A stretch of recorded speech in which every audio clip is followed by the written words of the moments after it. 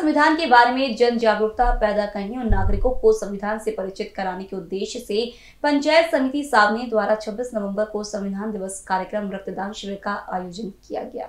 इस अवसर पर सभापति अरुणाताई शिंदे उप सभापति राहुल तिवारी, जीजाबाई बागड़े, गट विकास अधिकारी दीपक गरुड़, विकास अधिकारी विजय भाकरे, गट शिक्षणाधिकारी रामदास गुंजारकर, विस्तार अधिकारी मनीष अडागले, शाखा प्रबंधक एचडीएफसी बैंक सावने संजीव बरगाव ने आयुष ब्लड बैंक नागपुर की उपस्थिति में यह कार्यक्रम को मनाया गया।